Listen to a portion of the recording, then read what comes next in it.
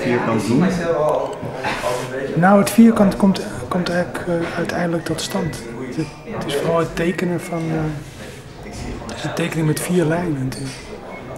En proberen dat eh, met zo min mogelijk middelen, de grootst mogelijke spanning eh, op dat papiertje te krijgen. Het is maar een heel klein papiertje natuurlijk. Dat is eigenlijk de, de bezigheid. Het geeft een enorme spanning. eh.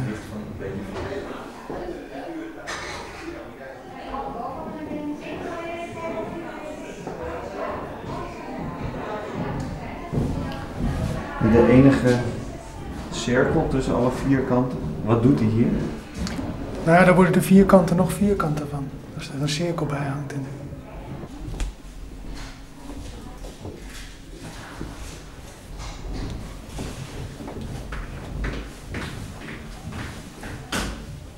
Het is ook wel mooi om te zien hoe zo'n cirkel werkt. Gewoon in zijn volle hevigheid.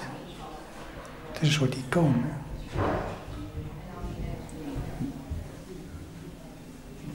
Wat is dan het idee achter de cirkel? Nou, het, is niet, het wordt in zen gebruikt als oefening natuurlijk. En als meditatie. En ehm, maar als je ermee bezig bent, is er geen idee achter de cirkel. Dan is er alleen...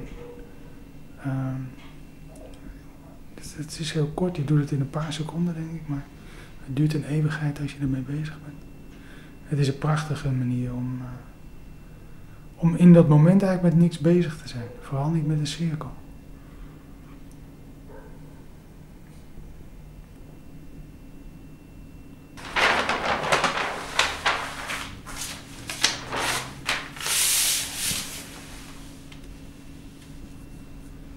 Ik heb ooit een maand eh, alleen maar cirkels gedaan, dan elke dag drie.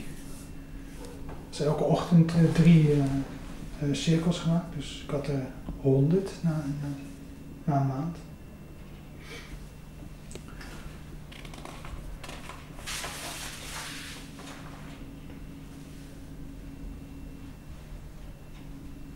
Ja, het is. Nummer ne- 99 was eigenlijk wel de meest spectaculaire. Omdat het echt volledig buiten me omging. Het is een heel wonderlijk. eh, alsof je. Nou, niet die arm, maar. eh, dit heb ik eigenlijk nooit tegen iemand verteld. natuurlijk, maar Zo'n soort enorme energie. eh, arm. de cirkel maakt. Dat is een heel, heel wonderlijke ervaring. Ik kom er zo nog wel tegen. Anders moet ik hem even opzoeken. Maar dat was wel op een onbewaakt ogenblik, zou ik maar zeggen. Een hele wonderlijke ervaring. Ik dacht, ja, nou snap ik wel waarom zenmonniken zo fanatiek eh, en niet fanatiek tegelijk cirkels uh, kregen. Oh, dit is die eh, beruchte nummer eh, 99. Zo ik maar. Ja. Is ook wel mijn favoriet, geloof ik. Maar vooral door het gevoel waarmee die eh, gemaakt is. Tevoorschijn kwam. Nou, ik heb er wel veel van geleerd. Vooral voor de, de gevoeligheid van eh, de hand, zou ik maar zeggen. Je overgeven aan het moment en ook het materiaal. En je er niet mee bemoeien. Je kan niet... dus Het moment dat je zeg maar, bij het maken van zo'n cirkel of bij een kalligrafie Ehm, je laat verleiden tot, eh, tot controle bijvoorbeeld. Of dat je denkt van, oh, nou gaat hij wel heel goed. dat kan ook zo'n gedachte. Dan gaat het ook ogenblikkelijk mis. Dus je moet in zo'n moment volledig leeg zijn in die zin.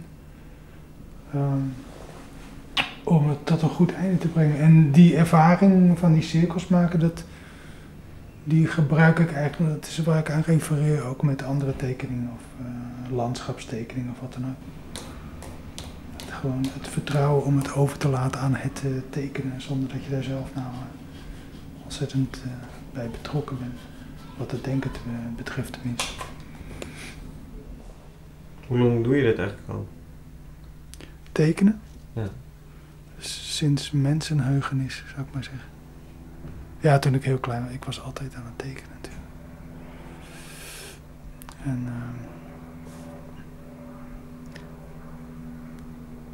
Ja, op een gegeven moment heb ik muziek gemaakt en eh, strips getekend. En, eh, dus dan neemt het een wat andere vorm aan. Maar dit komt wel weer eh, heel dicht bij wat ik deed toen ik een jaar of drie was. Maar dan toch weer iets anders. Maar dan heb je ook een enorme concentratie natuurlijk. En geen schroom, dat is het belangrijkste. Er hangt daar een, ik weet niet jullie gezien een schilderij van Arie. Dit. Dat is van, eh, van Arie toen hij een jaar of, eh, ik denk twee of drie was. Mijn zoon. Eén van mijn zoons. En dat is eigenlijk mijn grote voorbeeld. Dit schilderij. Is dat zo? Ja. Ja, toen ik weer met tekenen begon, althans met, eh, zeg maar na de muziek en zo, een jaar of zes, zeven geleden, ben ik weer begin, beginnen met tekenen. En toen, ik had dit altijd al hangen hoor. Maar eh, toen dacht ik van, goh, als ik zo kan eh, schilderen een keer, dan zou dat wel te gek zijn.